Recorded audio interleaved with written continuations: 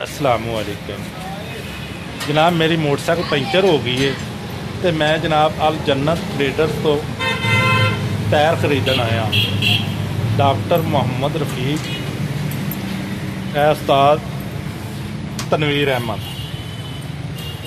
ਇਹ ਸੇਠ ਅਬਦੁਲ ਹਮੀਦ ਕਿਉਂਕਿ ਮੈਂ ਮਾਰਕੀਟ ਗਿਆ ਸੀ ਤੇ ਉੱਥੋਂ ਜਨਾਬ ਮੇਰੀ ਰਾਹ 'ਚ ਮੋਟਰਸਾਈਕਲ ਪੈਂਚਰ ਹੋ ਗਈ ਤੇ ਰੇਡ ਤੇ ਲਿਆਂਦੀ ਏ ਤੇ ਹੁਣ ਮੈਂ ਕਿਹਾ ਟਾਇਰ ਨਵਾਂ ਪਵਾ ਲਈਏ। ਜੇ ਵੀਡੀਓ ਅੱਛੀ ਲੱਗੇ ਤਾਂ ਲਾਈਕ ਕਰਨਾ ਤੇ ਸ਼ੇਅਰ ਕਰਨਾ ਕਮੈਂਟਸ ਲਾਜ਼ਮੀ ਕਰਨਾ। ਹਾਂ ਕਮੈਂਟਸ 'ਚ ਆਇਆ ਜ਼ਰੂਰ ਦੱਸ ਦੇਣਾ ਟਾਇਰ ਮੈਂ ਨਵਾਂ ਕਿਹੜਾ ਪਵਾਵਾਂ ਕਿਹੜੀ ਕੰਪਨੀ ਦਾ ਅੱਛਾ ਹੋ ਰਿਹਾ ਹੈਗਾ। ਜੀ ਭਾਈ ਕੀ ਹਾਲ ਹੈ ਆਪਣੇ? ਨਮਾਜ਼ ਪੜ੍ਹਨ ਗਿਆ।